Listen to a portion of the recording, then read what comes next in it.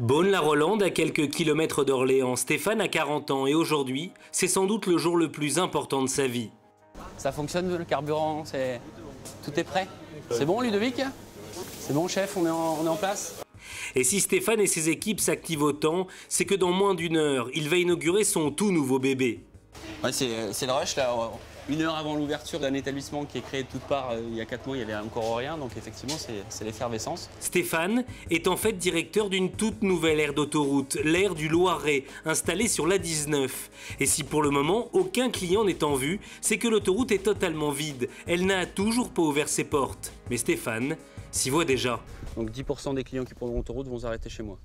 Euh, S'ils s'arrêtent chez moi, c'est pour consommer, logiquement. Donc c'est avec ces 10% là que je dois faire mes 3 millions d'euros de chiffre d'affaires euh, la première année et euh, 4 millions 5 la deuxième. Chaque année, 829 millions de véhicules empruntent les autoroutes françaises. Alors, comme toutes les deux heures, une pause s'impose, les airs n'arrêtent pas de faire le plein de voyageurs. Un business qui génère plus d'un milliard d'euros et que se partagent une poignée de sociétés. Car à l'intérieur, les prix s'envolent. Je trouve que c'est horriblement cher. Ça dépanne, mais c'est horriblement cher. Ça frise même le scandale, quoi.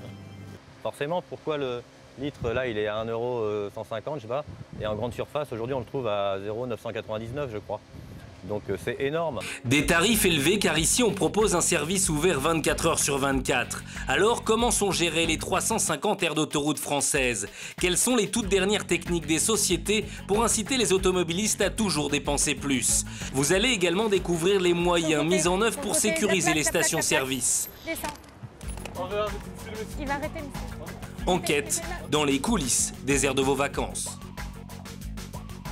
Retour à Bonne-la-Rolande. Le moment tant attendu vient d'arriver. L'autoroute A19 ouvre ses portes. Midi 20, ça y est, les, les premiers clients arrivent. C'est euh, un grand moment là. Le moment est unique, car des aires de service, on en crée à peine plus d'une par an. Alors Stéphane décide d'accueillir les clients jusqu'à leur voiture. En bon commerçant, il ne cache pas son émotion. Premier client, premier chiffre d'affaires. Deuxième client, deuxième voiture. Monsieur, Bonjour, bonjour, bienvenue chez nous. merci. Premier, vous êtes le premier Eh ben, C'est parfait, il en faut un. Ah, il en faut un. Et si Stéphane a le sourire, c'est que l'enjeu est de taille, car créer une aire de service, cela coûte beaucoup d'argent. Donc cette aire nous a coûté 7 200 000 euros. Euh, c'est un investissement sur 15 ans. Euh, c'est 15 ans de concession, donc euh, au-delà de 15 ans, bah, l'établissement ne nous appartient plus.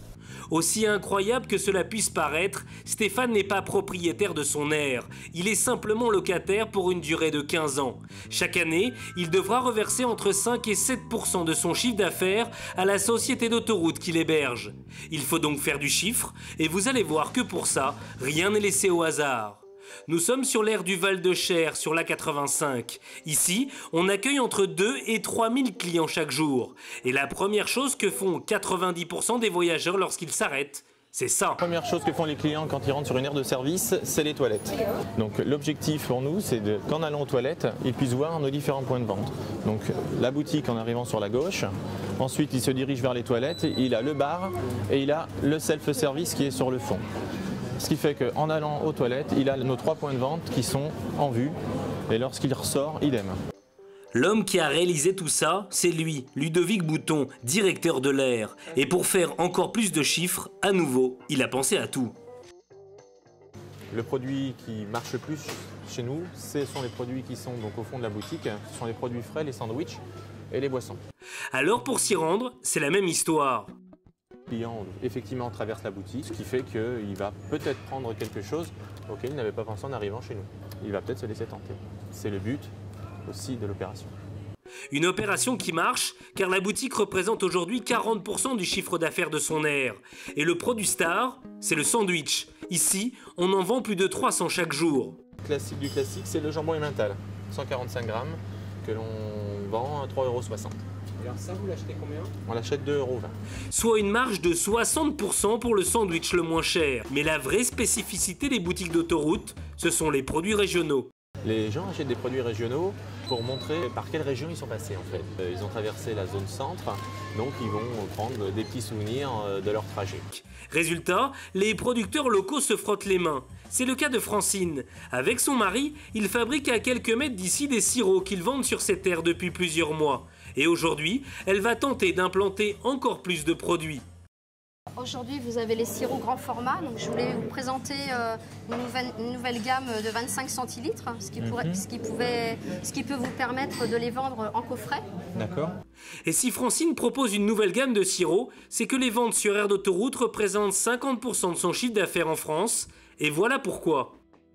Il y a 30 fois plus de clients que dans notre boutique euh, quotidiennement. C'est énorme. Ouais, c'est énorme. Un véritable jackpot pour Francine. Alors elle va tenter le tout pour le tout en proposant l'impensable, sa toute dernière liqueur. Je voulais vous proposer de rajouter euh, notre triple sec, puisque nous sommes à l'origine du triple sec, qui a été créé en 1834. Ouais, mais malheureusement, nous sur autoroute, on n'a pas le droit de vendre euh, d'alcool. Ah mince. L'alcool fort est interdit sur les aires d'autoroute. Chaque année, une douzaine de nouveaux producteurs tentent de séduire Ludovic. À peine une poignée aura ses faveurs. Mais il y a une clientèle qui vaut de l'or. Ce sont les routiers. Gwen a 42 ans. Aujourd'hui, il vient d'avaler plusieurs centaines de kilomètres. Alors, s'il a choisi cette aire pour passer la nuit, c'est qu'ici on lui propose le grand luxe. Un espace détente uniquement réservé aux routiers. Bah donc euh, là il y a le lavabo, la douche qui est propre, euh, nickel quoi. Le sèche-serviette, la serviette au chaud c'est toujours sympa l'hiver. et puis bah, le séchoir euh, pour les mains, éventuellement les cheveux pour son cordon et puis voilà quoi. L'espace VIP du chauffeur. Un espace VIP entièrement gratuit. Ça fait du bien une bonne douche? Mais après la douche, pas question de perdre cette précieuse clientèle. L'objectif, qu'il se restaure. Et pour ça, la direction de l'air a tout prévu. Je vous dois combien Avec la réduction routier Pour un menu complet, il ne paiera que 9,50€, soit 25% de moins qu'un voyageur classique. Et si cet air chouchoute autant les routiers, c'est qu'il représente jusqu'à 70% de leur clientèle en automne. Alors même au moment de dîner, la direction a pensé à eux. Bah en fait c'est simple. En face de moi j'ai l'écran, je vois mon camion, je vois ce qui se passe. Donc si quelqu'un va tourner autour ou quoi, euh, si on essaie de me voler au moins euh, j'aurais vu ce qui se passe quoi. Là je mange tranquille. Un programme entièrement dédié aux routiers pour qu'ils consomment en toute quiétude. L'objectif, que les clients dépensent toujours plus d'argent chez eux. Mais dans ce secteur ultra concurrentiel, certains ont imaginé des concepts encore plus étonnants. Pour ça, direction l'Alsace. Nous sommes chez Nicolas et sa famille. Comme chaque dimanche après-midi, ils vont se détendre. On se prépare euh, donc en famille avec des amis pour aller se balader, profiter du beau temps euh, à l'extérieur.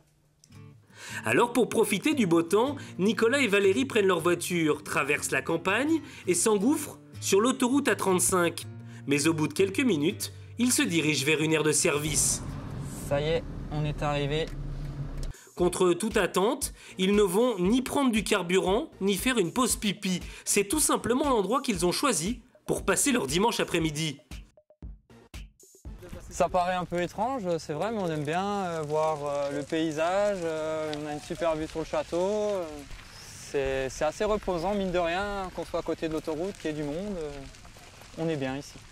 Ici, on a en fait recréé l'esprit de la campagne, 500 mètres carrés de potager avec de la salade et des groseilles. Sans oublier des vignes. Mais le must du must, c'est ce lac artificiel, avec à l'intérieur plusieurs variétés de poissons.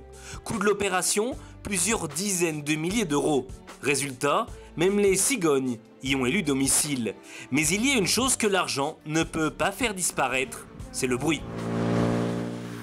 De temps en temps, c'est bruyant, c'est vrai. Il y a moto, euh, camion, bus. euh, bah bon, ça change un petit peu. Ça change de la nature euh, classique où on entend les oiseaux. L'eau qui coule, ça change un petit peu. À la tête de cette ère, Monsieur Claire. Pour réaliser l'ensemble de son projet, il lui aura fallu investir 17 millions d'euros. Mais aujourd'hui, c'est payant. Le résultat aujourd'hui de cette aire, c'est qu'on attire deux fois plus de clients euh, qu'une aire euh, classique d'autoroute avec 2000 clients, euh, contrairement à une autre aire qui a environ 1000 clients jour. Résultat, les voyageurs restent ici en moyenne 30 minutes, soit deux fois plus de temps que sur une aire classique. Mieux encore, ils consomment. Après s'être offert une heure de détente, Nicolas et sa petite famille vont faire un peu de shopping. Qu'est-ce qu'on prend On prend, un peu de jambon hein, qu'on n'a plus.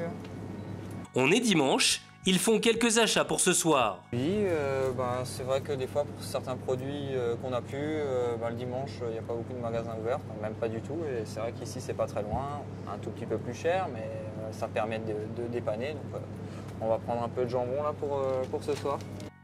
Du plaisir à l'extérieur et du choix en magasin, voici la formule miracle de cette aire de service. Mais tous ces clients, il faut également les protéger, car les aires d'autoroute intéressent tout particulièrement une nouvelle délinquance qui s'est spécialisée dans les vols en tout genre. Nous sommes dans le secteur d'Orange, sur la 9. Comme tous les jours en période de vacances, les gendarmes Gabé et Richard vont à la rencontre des voyageurs pour leur rappeler quelques règles de vigilance. Bonjour messieurs, dames. Où sont les sacs? Où sont vos sacs à main, mesdames? Dans les véhicules. Voilà, c'est ce qu'il ne faut pas faire. Parce que les... Mais ils sont bien devant en plus, bien. Oui, bien devant. C'est justement ce qu'il ne faut pas faire. Voilà. Non, mais sérieusement, il y a beaucoup de vols. Oui, oui, mais si vous voulez, ça n'empêche pas, ça n'empêche pas les voleurs de, de faire ce qu'ils ont à faire. Donc ils viennent et prennent vos sacs et repartent. D'ailleurs, je vais aller vérifier. Vous me mettez un coup de flip là. Et si le gendarme Gabé insiste autant, c'est que dans son secteur, 200 vols ont été constatés l'année dernière.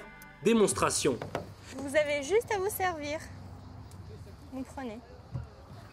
Voyez, monsieur Oui Ah oui, c'est tentant. Hein.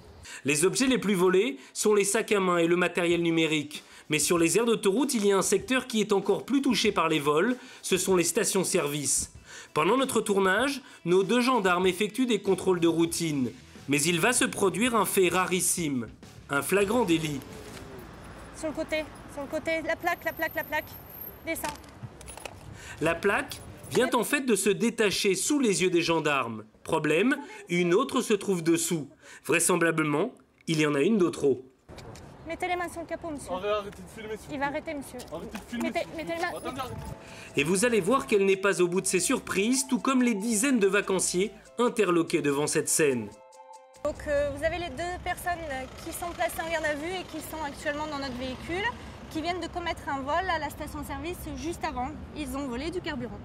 Les deux jeunes venaient en fait de voler pour 50 euros d'essence. Cela arrive quasiment tous les jours sur son secteur. Mais au moment de perquisitionner le véhicule, les gendarmes font d'autres découvertes. De la résine de cannabis pour sa consommation personnelle, un pétard usagé qui peut encore servir.